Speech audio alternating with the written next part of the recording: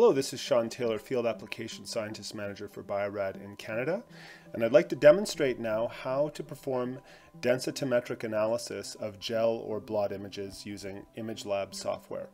So what we have before us here is a file that contains a 1 and 2 dilution series of a protein lysate diluted down from about 60 micrograms loading in 1 and 2, so 30, 15, 7.5, all the way down to 6 to the 6th lane.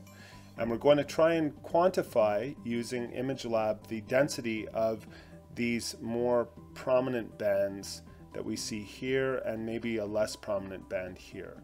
So to do densitometric analysis with the software, you use these toolbars. So you have a toolbox on the side here and I'm only going to demonstrate a couple of the tools in this module just to focus in on densitometric analysis.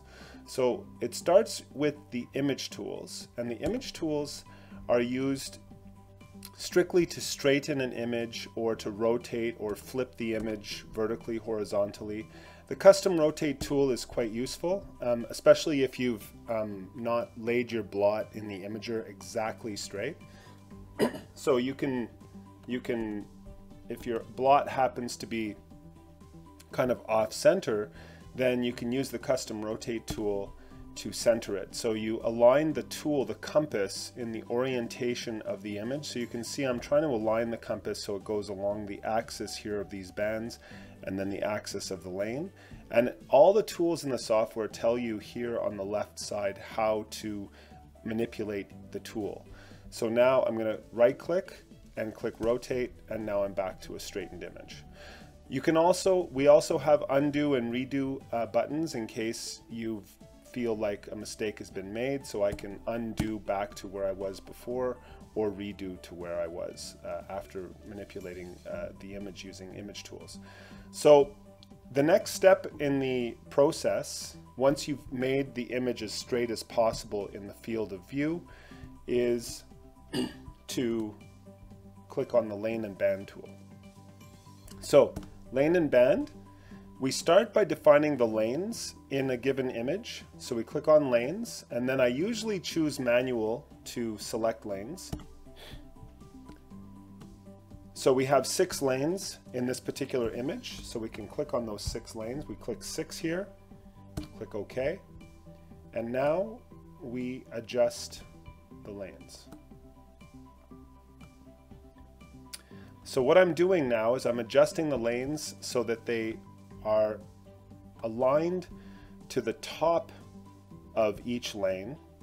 But you can see this gel is a little bit splayed out. So I can then click adjust frame if I need to. And I can adjust the frame using these anchors. So I'm just moving the lanes so that they're more or less adjusted. Now, there's another tool to be able to adjust the width of the lanes because these bands need to be inside the lane markers. So what we can do is click in the band tool and then click back into the lane tool. And now we have this new tool. So you can click on individual lanes by holding the control button, or you can click on one lane, hold the shift button, click on the last lane, and it selects all the lanes in between. It's kind of like working with Excel when you're trying to select multiple cells. Then any of these anchors that are on the side of the lane, so long as all the lanes are selected, it will adjust them all at the same time. So if I click on an anchor on the side of a lane, the width of that lane can be dragged larger and it adjusts the width of all the other lanes. You can also click on an individual lane if you wish and just adjust it slightly if you need to. So now I've adjusted all my lanes to the correct width and the next step in the process is to select bands. So I'm going to click on the band tool. I'm going to add bands. Now you can also use the auto detect to detect bands. And the way the auto detect tool will work is if you look at the image in three dimensions, auto detect will actually look at the contour map of the density of the band. So this is this is how the software views an image in three dimensions. And the the detect band tool will try to determine where the density of a band rises and falls to select the right band width, as you see here. If you have um, a blot or gel image that has a lot of bands that you're that you're not interested in quantifying, where you're only interested in quantifying certain bands, I recommend just use the add band tool. But if, if you're working with a blot where you where you have a nice specific antibody and one band, then the detect band tool might work much better. So if we click add, we can add bands by just clicking over the band. So that's what I'm doing here, just mousing across, and I'll do that other lower set of bands as well.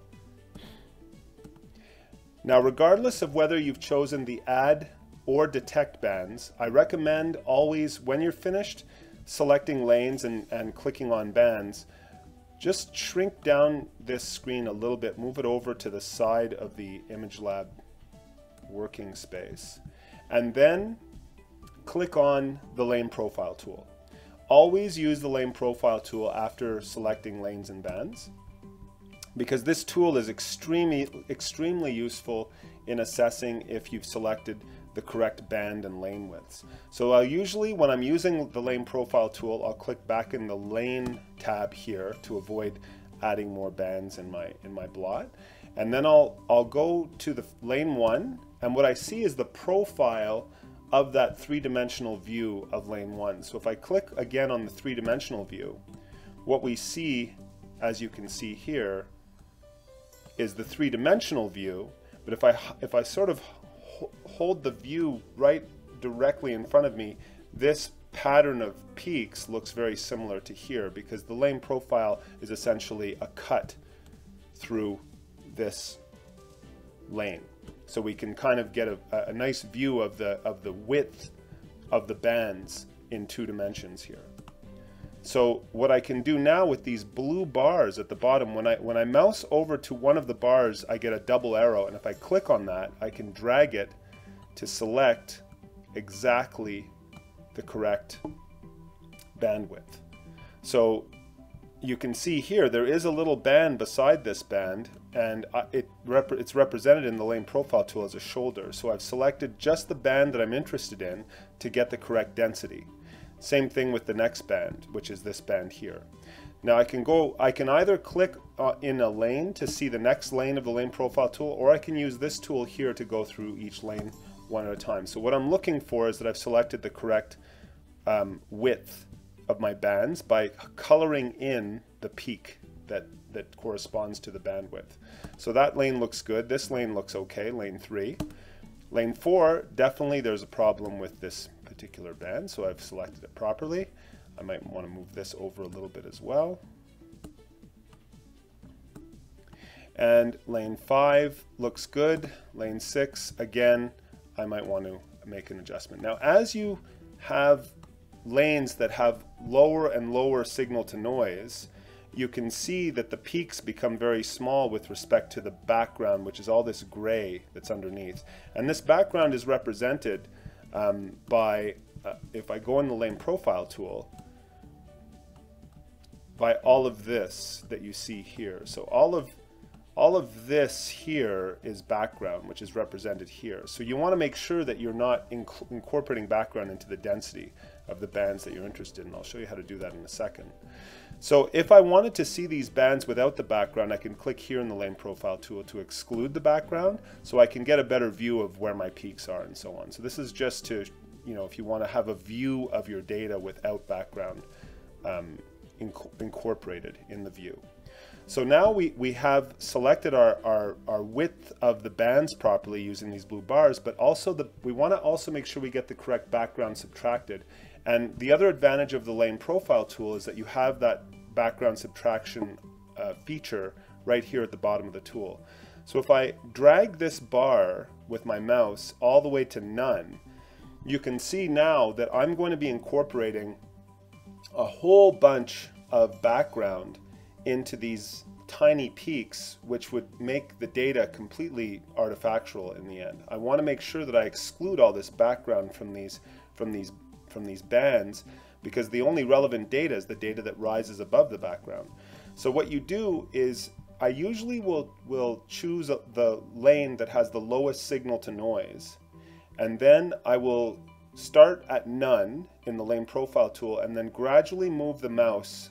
And what I'm looking at is this blue line here until it until the blue line is at a level where it cuts the peaks between the valleys of the peaks. So you can see as I drag this over, that blue line will go up closer until I'm at a point where, so here I'm at around 6.5 for this disk size, and I'm cutting the peaks between the valleys. So that's pretty good. And then I can apply this background level to all the lanes. So if I click on that apply to all lanes, then I can scroll back through the lanes to make sure that my that my peaks are cut between the valleys between the peaks. So that's that's what I'm checking to make sure. So that valley and that valley, this valley and this valley, and so on. So it looks pretty good so far. Yep, I'm quite pleased with that. And same thing here. So cutting between the valleys of the peaks. So that's pretty good. So then, and you want to be careful not to apply too much background, otherwise you'll go into the peaks. So if I go all the way to max, if I go to, for example, the lowest signal to noise, and I click on maximum, I'm actually taking away density now that's relevant. So I'm going to apply that background of around 6, click apply to all lanes, and now I'm cutting between the valleys. So I'm taking the peak that rises above all of the background for my for my relevant bands. And I want to make sure I'm being consistent with that so I always go back and check to make sure the background was properly subtracted. So now I've done my background subtraction I've done my my, my bandwidth I've selected my lanes. So I'm ready to I'm ready to analyze my data. So I'm going to turn off the lane profile tool. And I can look now at my data. Now you might also want at this point to label the lanes and you can do that here under image info. So if you click on image info under notes, you can then add lane labels. Now this is only after you've defined the lanes and bands. The, this, the, this lane label tool will not appear until you've done the lanes and bands. But now I've, now I've applied labels to my lanes, so that, that permits me to easily see what I've loaded. So now I'm going to click on the analysis table. The analysis table is where all the data is, is warehoused. So the analysis table also has some little tools on uh, above the analysis table so you can show or not show data in the analysis table. This is to orient the table and when the software is first loaded onto a computer, the table is in this orientation where you see um, all the data for each lane kind of going horizontally across, so lane 2, lane 3, and so on. I personally prefer the vertical view. So I always click on this and, and this only needs to be clicked on the first time you launch the software if you prefer this view and then if you don't click on this again every time you open the software it'll be in the table will be in this in this orientation. So what we have here are the lane numbers which are numbered here. Band number, bands are numbered that you selected in each lane from top to bottom. So this is band one, this is band two, and the next band would be band three. So, so that's how band numbers are labeled. Um, molecular weight will be in another teaching module on the software. Relative front is the distance from the top of a lane to the band. And adjusted volume is the background subtracted volume. So this is, this is the data that would be of interest when doing the calculations when wanting to do differential densitometric analysis. Volume is the non-background subtracted volume, and I'll, and I'll explain how to contrast between these two things soon. And then you have band percent and lane percent. The band percent is the percent of the adjusted volume of the selected band, of this band, relative to the other selected bands in the lane. So, so this band represents 82% of the density of the sum of these two values. And 17% represents this divided by the sum of these two values. Lane percent is again the adjusted volume of this band relative to all the other bands after background subtraction in the lane. So lane percent would be more of a percent purity, band percent would be more of a ratio of densities between selected bands. So if we look at the at the adjusted volume and bearing in mind that this was a 1 in 2 dilution series, you can see that, and if we want to compare just band 1 going across all these lanes, we'd compare band 1 in each of these lanes here. So band 1, as we can see, went from 61 million to 33 to 17 to about 10 to about 6 to about 2.5. So that's pretty much a 1 and 2 decrease, going all the way down from lane 1 to lane 6. For the second band that we selected, which was a less intense band, again, it's very consistently uh, going down by a factor of 1 and 2, 13 to 7 to 3.9 to about 2.3 to 1 to about 0.8. That's very consistent, so very nice results once we've selected the correct bandwidth and background subtraction properly. Let's contrast that data that we saw in adjusted volume to data where the background was not subtracted. And you can see it's a very significant difference. So 156 to 94 is, is, is not exactly 1 and 2, but then 94 to 65 is definitely not 1 and 2.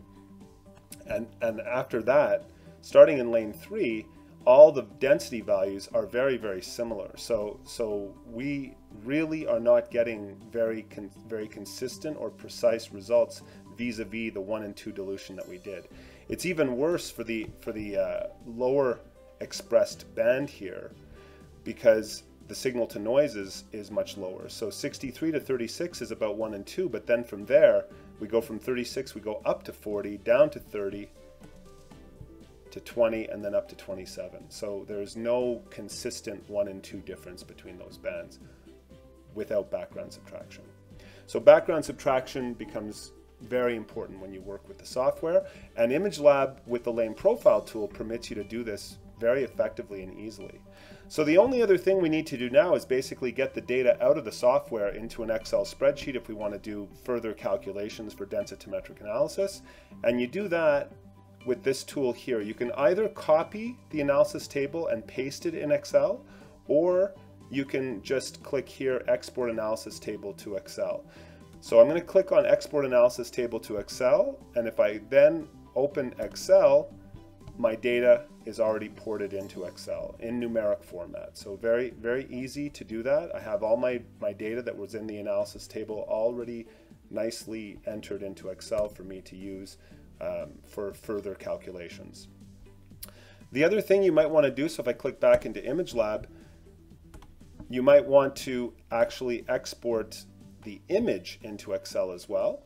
And to do that, you use, first of all, I would want to adjust this image before putting it into Excel. And there's a tool right here to do this, Display Gel Options.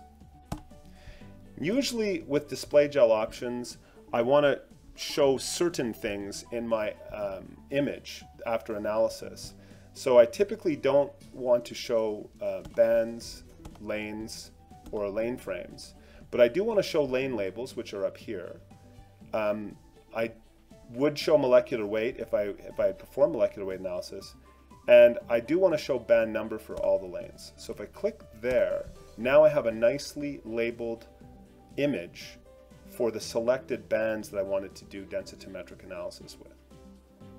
So now what I'll do is I'll export this um, into a image file. So file, export for publication.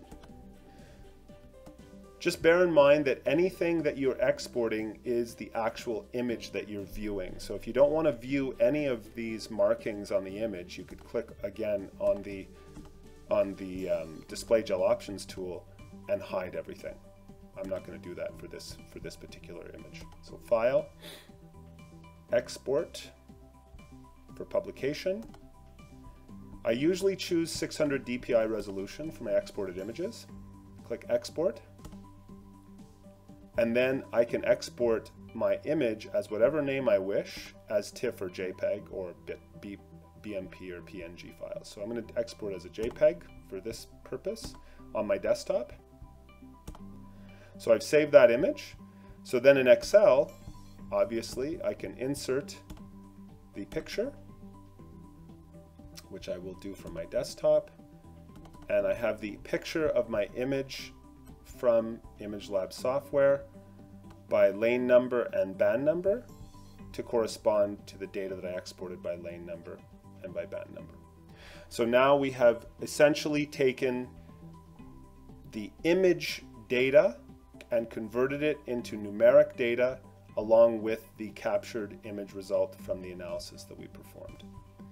So I hope that this was useful and this concludes the densitometric analysis module of ImageLab software.